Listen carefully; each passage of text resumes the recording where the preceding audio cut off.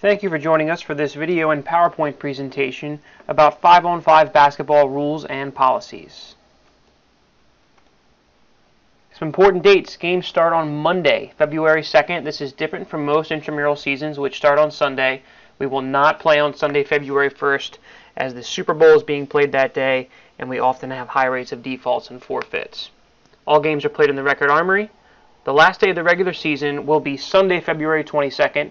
Playoff schedules and brackets will be posted by 5 p.m. on Monday, February the 23rd, and playoffs will begin on Tuesday, February 24th. Important contact information, there's the number for our office, or you can email imsports at umd.edu. Team captains are an important liaison between the intramural office and the rest of your team. This PowerPoint presentation and video is worthless if you don't pass this information along to your teammates. So please be familiar with the rules and ensure that your teammates abide by those rules. It's also your responsibility to check out the schedule and make sure that your team shows up on time. And please respond to us promptly concerning schedule changes, tournament structure, eligibility inquiries, team conduct, and other important matters. You can log on with your UID from our intramural page by clicking on the gray box. And if you want to look at policies, just click the policies link. There's also a brief list of sport rules. When you arrive to, at the Armory to play your basketball game, you'll swipe into the facility first and then check with the intramural supervisors or look at the board to see which court your team is, pl is playing on. You'll probably need to check out numbered jerseys if your team doesn't have the same colored shirts with numbers on them. You must have numbers on your shirts for intramural basketball.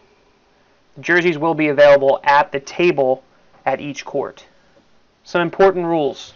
Please encourage your teammates to carry in gym shoes with them and change once they get inside. In the winter, there's always salt, mud, dirt outside that gets tracked into the gym floor. It causes damage to the floor and makes it slippery and not as great to play on. So please tell your teammates to bring shoes with them and change once they are inside the gym. Jewelry is not permitted. Covering jewelry with tape is not permitted. The only exception to this is a medical alert bracelet. It must be taped to the body. No earrings, nose rings, bracelets. None of those will be allowed. Like I said, all players must have a visible number on their shirt, and black is not an acceptable jersey color. The officials wear black shirts, and that will cause confusion. So any color jersey but black, we also have pennies that can be checked out. If you're going to check out a jersey, a penny, and wear it, you must wear a t-shirt underneath. We don't want players sweating profusely into the pennies. It causes a health risk, so you must wear a t-shirt underneath. If it's cut off, it has to be cut off to the point where the t-shirt is still showing underneath of the jersey. Basically, we don't want the penny the, or the jersey touching your bare skin. Games will consist of two 18-minute running time halves. Clock will stop for timeouts, protests, and injuries, and it will stop on the last minute of each half for all whistles. Teams will be allotted three timeouts for the entire game, and games that end in a tie during the regular season will end in a tie, no overtime during the regular season. Current high school rules will be in effect with the timing exceptions listed previously. Teams shall play with five players. You may start with as few as four. A rule change this year in high school basketball. Players lined up along the lane can move into the lane once the shooter releases the ball. The free thrower and the players outside the lane area may not cross the free throw line extended or the three point arc until the ball hits the rim. five personal fouls results in disqualification. Technical and player and team control fouls will all be counted as personal and team fouls. If a player receives two technical fouls, they'll be ejected. If a team receives three technical fouls in one game, the game shall end and be forfeited. On the seventh team foul of a half, a one and one bonus will be shot, unless it is a team control foul, and two shots will be awarded after the 10th foul of a half, unless, again, committed by the team in control of the ball. There'll be no foul shots for player control and team control fouls. In co-ed, the scoring is a little bit different. Men's field goals are worth two points as usual. women's are worth 3. A men's three-point shot is worth 3 and a women's three-point shot is worth 4. Co-ed teams must play with two female and two male players, and the fifth player may be of any gender, but a minimum of two players of each gender is required. And a women's size ball will be used for all co-ed games. Teams that arrive after the start time will be issued a forfeit. Teams caught using an ineligible player will be issued a forfeit. And as mentioned previously, a team that receives three unsporting technical fouls in the same game will be issued a forfeit. Some descriptions of our leagues. Fraternity A and B, only those organizations approved and registered the Department of Fraternity and Sorority Life can participate in the Fraternity A or B leagues. Members must be a registered pledge or active member. Players with alumni status or those who are not undergraduates may not participate in Fraternity A and B. Players may not transfer from one league or level to another. So pick the team you're going to play with the whole season and play with that team the entire season. Our men's A League, men's B League, and men's 6 feet and under league is open to all university male students except those participating in fraternity A and B or in the graduate faculty staff league. Women's League is open to all university female students except those actively participating in the graduate faculty staff league. The graduate faculty staff league is open to all men and women except those participating in fraternity men's or women's league open to employed faculty, staff, and enrolled graduate students. Undergraduate students are not permitted to play in the Graduate Faculty Staff League. In this league only, teams may have any combination of men and women, and we do not play by co-ed rules. No ID, no play. Period.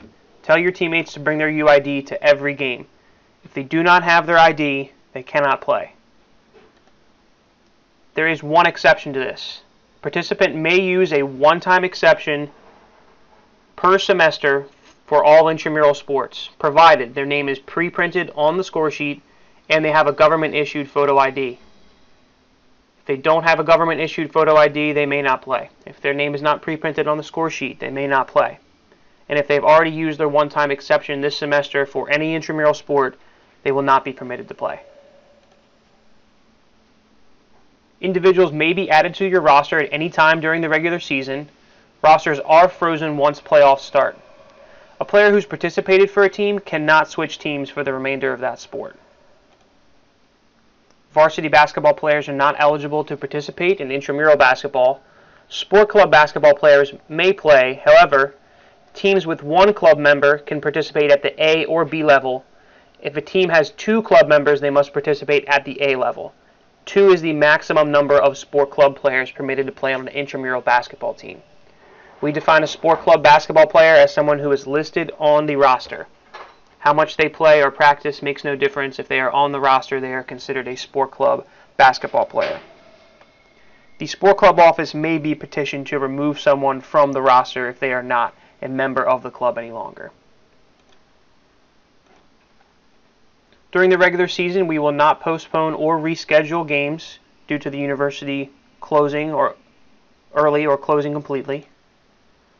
During the playoffs, team captain or any team representative must come in person to the intramural sports office to request a reschedule. Our office is located in the Reckord armory. Prior to playoffs, teams are encouraged to contact the intramural office and notify us of academic or religious scheduling conflicts. If your team isn't going to be able to field a team at a certain time of day or a particular day, let us know, and we'll do our best when we make the playoff brackets to have your team avoid playing at that time. Game time is forfeit time. If you show up at 6.01 for a 6 o'clock game, you will be issued a forfeit. Captains can notify the intramural office by noon the day of their game or noon on Friday for Sunday games that they will not show up to play and they'll be given a default instead of a forfeit. Default is recorded as a loss and a 3 for sportsmanship rating. And you're permitted to do this once per season. Any team that forfeits will pay the $40 forfeit fee, which will be charged to the team captain's university account. Teams that forfeit may not be eligible for the playoffs.